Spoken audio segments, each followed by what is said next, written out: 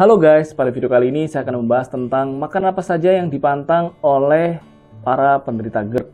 Yang pertama adalah tidak boleh makan kacang, tidak boleh makan pisang, tidak boleh makan kangkung, tidak boleh makan coklat, dan tidak boleh makan yang mengandung ragi. Nah, mungkin bagi sebagian besar orang mengatakan tidak boleh makanan pedas, tidak boleh makanan yang asam, tidak boleh yang mengandung kafein, tidak boleh yang bersantan, gorengan ya. Nah, karena ini adalah gejala GERD berbeda dengan asam lambung biasa, tentu makanan-makanan yang tadi yang pedas, yang asam, mengandung kafein itu kalau sebelum GERD kita tidak ada masalah, sebenarnya kita masih boleh kok mengkonsumsi makanan yang pedas, bersantan ya. Tapi kita harus ingat lagi ya, karena ini adalah gejala GERD, maka kita harus menyembuhkan dulu bagian sakitnya.